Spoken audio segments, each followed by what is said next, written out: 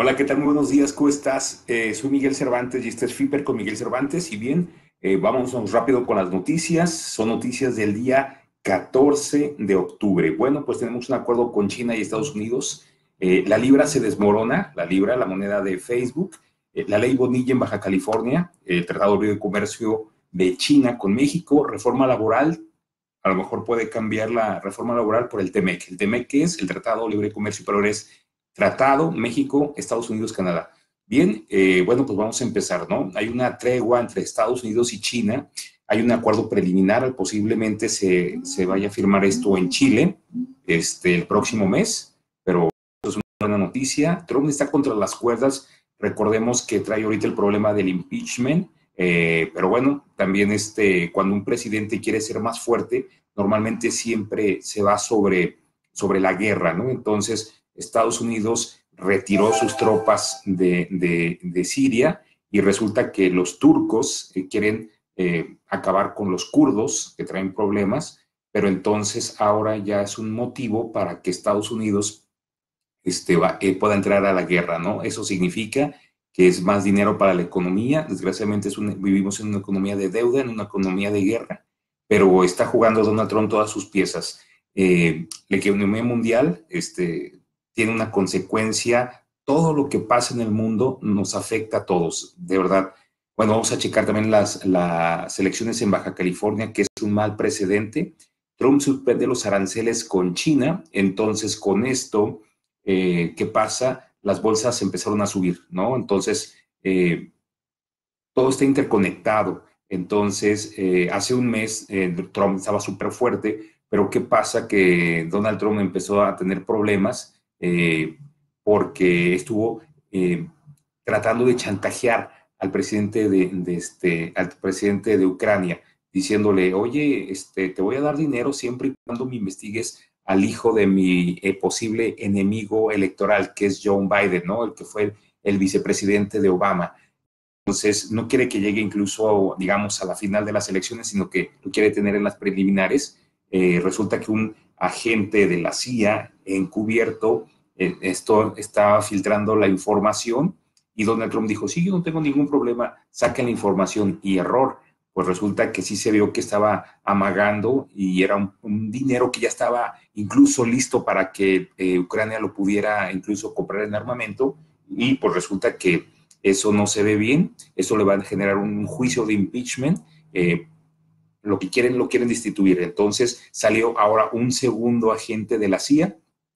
Entonces la CIA y el FBI no quieren a Donald Trump eh, y también la Suprema Corte de Justicia ya ordenó abrir las cuentas personales de Donald Trump y sus cuentas corporativas. Entonces, eh, eh, Donald Trump tiene problemas, incluso una antiporra dentro de su propio gobierno, pero entonces, ¿qué hace? Retira las, este, tropas de Siria y resulta que entonces eh, la Turquía empieza a, de verdad está haciendo una matanza horrible con la gente allá, este, quiere acabar Turquía con los kurdos, pero eso les resulta que le favorece porque las, los armamentistas, la gente que le pagó su campaña es gente o son empresarios que fabrican armas. Entonces, él está tratando de que lo protejan políticamente y pues bueno, ¿no? Entonces también eh, China estaba tratando de, mandarlo a volar, pero resulta que del día 10 para acá empezaron las negociaciones con, con China para ver cómo pueden eh, detener la guerra comercial y pues bueno, llegó a un acuerdo. Entonces, eso también es buena noticia para, para Estados Unidos, para los eh, agricultores norteamericanos que viene siendo la fuerza electoral de Donald Trump y eso es bueno para, digamos, el sur de los Estados Unidos es bueno para México. Entonces, bueno, todo está interconectado. Eh, bueno, la Unión Europea va a debatir esta semana una ofensiva contra los turcos porque están invadiendo Siria. Eh, y bueno, la verdad es algo muy triste que la verdad mucha gente inocente está perdiendo la vida por guerras comerciales. Eh, bueno, y lo que pasa es que Trump se quiere reelegir. recuerden que cada vez que hay una reelección, normalmente siempre hay una guerra. Entonces, tristemente, al parecer, este, ahora le va a tocar a Turquía eh, que lo empiecen a atacar. Segunda noticia, vamos eh, con Hong Kong. Hong Kong cumplió ya 19 semanas en protestas y enfrentamientos. Ellos piden eh, democracia. Hong Kong era una colonia británica que ahora va a pasar a ser parte de China, pero los chinos quieren tomar el control. Bueno, por la tecnología que tienen con el 5G, resulta que ya lo tienen monitor, ya te tienen identificado y entonces la gente en Hong Kong se pone unos gogles, lentes y unos cubrebocas. han prohibido completamente las marchas eh, les dice que si los detienen, se van a ir a la cárcel, pero no en Hong Kong, se los van a llevar a China. Entonces, mucha gente ha dejado de manifestarse y es, es muy triste, ¿no? Imagínate que tú estás eh, viviendo como si fuera en Londres o en Estados Unidos y de pronto te quitan todas las libertades y ahora ya eres parte de China. Es lo que ellos están peleando en, Hong Kong. Y bueno, es muy posible que China corte completamente el Internet eh, prácticamente en una semana. Esperemos que no. Eh, siguiente noticia, la huelga de General Motors el día 16 de octubre, en dos días, va a cumplir un mes.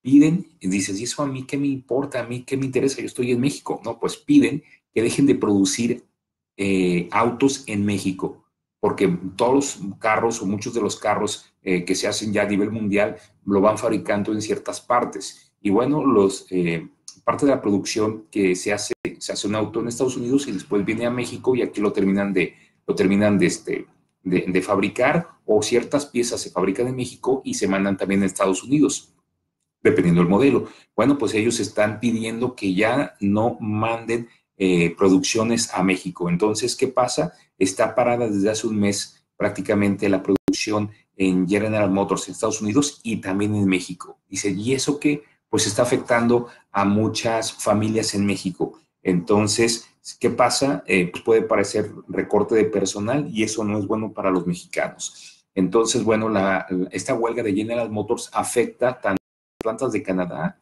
como México.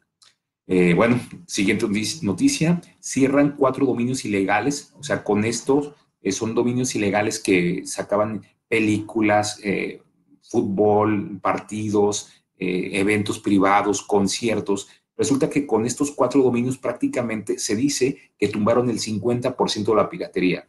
Entonces, eh, antes aquí en México, bueno, ya ves, este, se vendían los cassettes, los CDs, y ahora es cómo puedes tener acceso a Netflix, este, pero pagando de manera este, algo muy barato o conectándote a ciertos servidores y bajando toda la señal. Esto se me hace bien, eh, hay que proteger los derechos de autor, pero eso también me dice muchas cosas, que eh, Internet se está fiscalizando, Internet está, está metiendo mucho más controles. Eh, prácticamente hoy lunes está viendo cambios otra vez en Facebook y otra vez en YouTube. Entonces, amigos, tenemos que revisar las políticas de derechos de autor, políticas de publicidad y eh, para no caer en una infracción. siguiente noticia, Libra. Libra es la criptomoneda de Facebook que se supone que iba a surgir el próximo año, en donde muchas empresas, un conglomerado de empresas, eh, te iban a poder vender los tokens o las monedas. Tú le ibas a comprar, digamos, a PayPal, ibas a comprar la moneda a Visa, a Mastercard, y entonces eh, tú ibas a poder comprar esas monedas y poder pagar. Se supone que tu celular, eh, al tener una cuenta en Facebook, tú ibas a tener una billetera y podías comprar cualquier cosa en el mundo pero resulta que Francia, Alemania, este, España y Singapur le dijeron, mm, mm, aquí no vas a entrar. ¿Por qué? Pues porque eh, los gobiernos, ¿cómo controlan a los ciudadanos? A través del dinero, a través de la inflación. Entonces, no iban a permitir los bancos centrales que llegara eh, Facebook y que, les, que les quitara prácticamente el negocio, ¿no? Entonces, PayPal se retiró hace dos semanas y hoy eh, resulta que ya también Visa, Mastercard y eBay, adiós. Entonces, eran las empresas más fuertes, entonces Libra está naciendo muerta, ¿no? Y bueno, el Bitcoin sigue bajando, eh, resulta que subieron las bolsas y pues obviamente cuando sube la bolsa, normalmente el Bitcoin baja, ¿no? Pero algo curioso, ahora que Libra este, dijo, prácticamente están haciendo muerta, eh, sigue bajando Bitcoin, pero curiosamente otras criptomonedas están, están subiendo. Eh, ya nos dimos cuenta que el Bitcoin lo querían destruir, no pudieron destruirlo y entonces lo están controlando. Se dice que el 96% de todos los Bitcoins a nivel mundial lo tienen prácticamente cinco personas o cinco empresas. Entonces, todo lo demás eh, son pequeñas monedas o muy pocas cantidades y realmente están manipulando el mercado. Ya lo corrompieron, ¿no? Entonces, la gente se está dando cuenta y está saltando otras criptomonedas. Eh, pero ojo, mucho ojo, ¿eh? Este, no metas, no metas eh, a las criptomonedas un dinero que no estés, que no te duela perder. Porque mm, la gente que, por ejemplo, compró bitcoins hace un año, prácticamente lo que había ganado, que era un 13, 16%, ya lo perdió, incluso se está comiendo las ganancias del año antepasado. Entonces, eh, bueno, ¿no?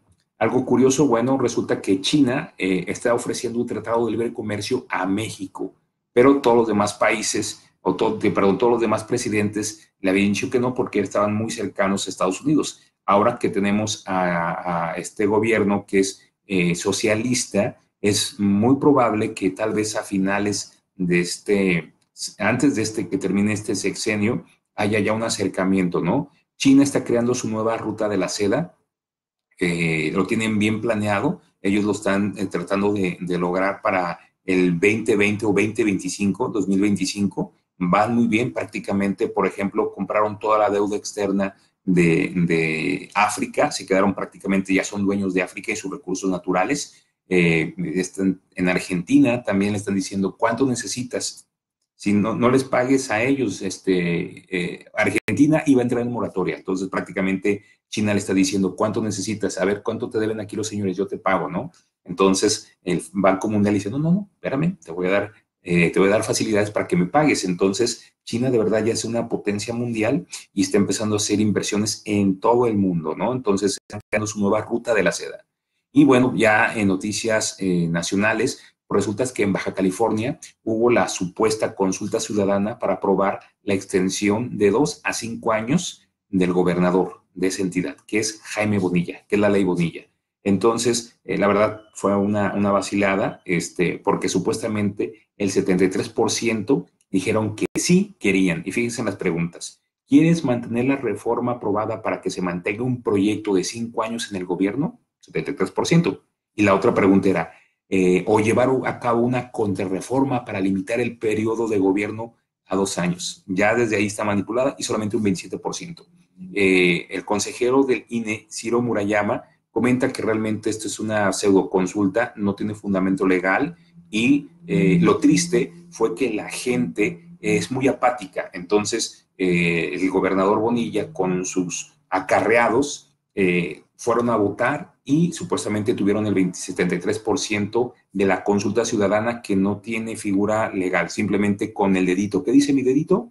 Que sí, entonces me quedo cinco años. Pero la gente tendría que haber salido a votar y resulta que la apatía fue lo que ganó. Y entonces ahora este señor, en lugar de dos años, modificó la ley y ahora, como es de Morena y tienen el poder absoluto, entonces se va a quedar ahora cinco años. Supuestamente AMLO dice que le da pena, pero eso ya quedó un precedente. Primero la ley y ahora ya se hizo de facto hecho en donde va a estar cinco años este hombre, este gobernador. Entonces, la verdad, eh, eso tenemos el gobierno que merecemos, pues entonces tenemos que participar, amigos. Siguiente noticia, México emite un aviso preventivo contra la poliomielitis. ¿Qué es la poliomielitis? Es una enfermedad altamente contagiosa producida por un virus que ataca la médula espinal por lo que puede provocar desde parálisis hasta la muerte. Actualmente no hay cura contra el padecimiento, no hay cura contra la polio, eh, por lo que la única este, eh, cosa que podemos hacer es vacunarse para que no dé la polio. Eh, ya no había habido polio. tengo amigos que tienen mi edad, yo, yo 46 años, prácticamente se erradicó la poliomielitis de hace 50 años y recuerdo que son los chavos que van en muletas y que tienen sus piernas como flaquitas. Se había erradicado, pero al parecer esto está surgiendo en Filipinas, está surgiendo en varios países de, de África, de Medio Oriente, y resulta que hay brotes y entonces ya pusieron una alerta preventiva, ¿no? Entonces, eso está muy fuerte en Afganistán, en Pakistán, en Nigeria. Pero resulta que aquí se les dio la entrada a los migrantes. Entonces, eh, no se sabe cuántos migrantes entraron, medio millón, eh, entraron un millón, dos millones, tres millones, algunos, algunos eh, informes dicen que son hasta tres millones de inmigrantes y gente que no tiene pasaporte, gente que no sabe si están enfermos y hay muchos eh, pakistaníes, me ha tocado ver aquí nigerianos, gente incluso de Afganistán, que están llegando sin, ningún control, sin ningún control sanitario y desgraciadamente pueden traer el, virus de la polio. Entonces, eh, hay que llevar a nuestros niños a vacunar. No sé si los adultos también tengamos que vacunarnos, voy a investigar, pero es algo muy, este, muy, muy fuerte. Esto prácticamente explotó en Filipinas y se está recorriendo, ¿no? Hay países en donde no se ha eliminado, pero tenemos que ser cuidadosos para que no vaya a haber una epidemia de poliomielitis como lo hubo hace 50 años en México. Bien, eh, AMLO se declaró en huelga las entrevistas cuando llegó a Tijuana sobre el TEMEC, el Tratado de México, Estados Unidos y Canadá. Eh, dice que no va a decir nada. ¿Por qué? Por la reforma laboral.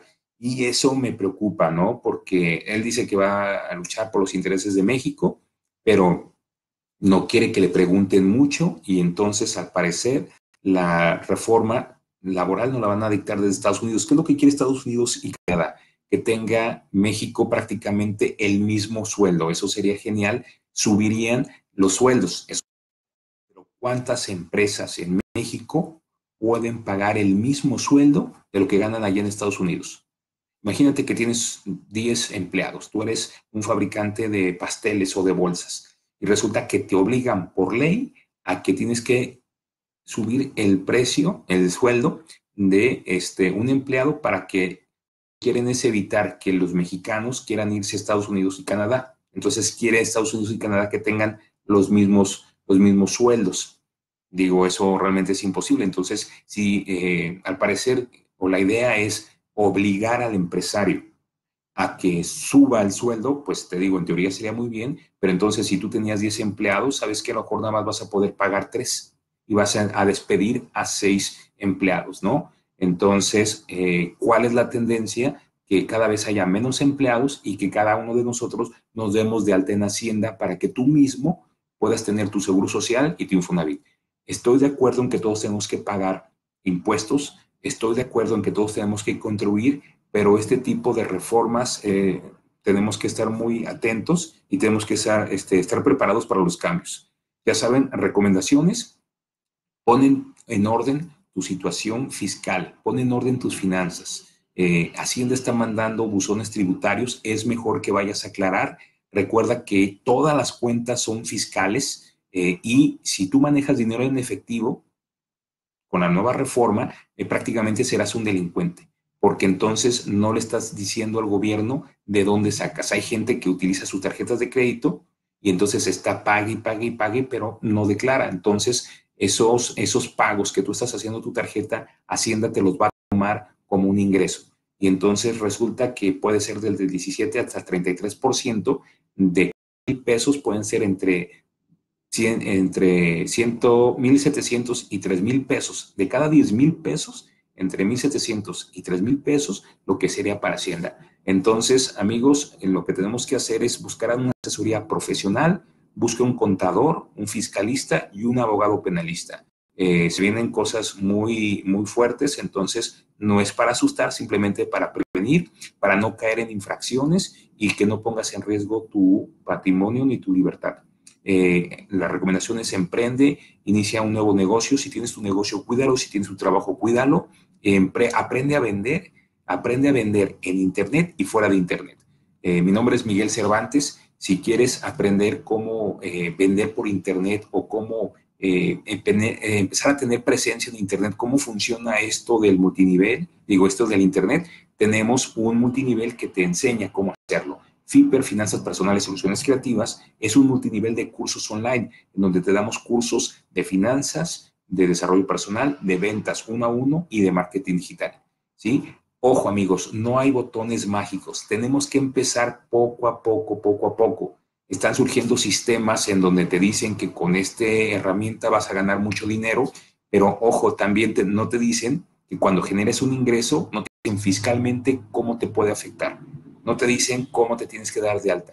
Aquí en FIPER estamos haciendo una asesoría integral en donde te ayudamos a generar un ingreso extra, pero también te decimos cómo manejar tus finanzas.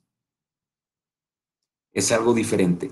Eh, FIPER es una escuela súper económica, te das de alta con 1.100 pesos en la inscripción y después eh, solamente pagas 550 pesos. ¿A qué tienes derechos? Tienes derechos a beneficios muy importantes para tu familia, tienes derecho a los cursos online, tenemos eh, cursos presenciales y por cierto, este 26 de octubre tenemos un curso, pero padrísimo, de eh, cómo sacar fotografías con tu celular.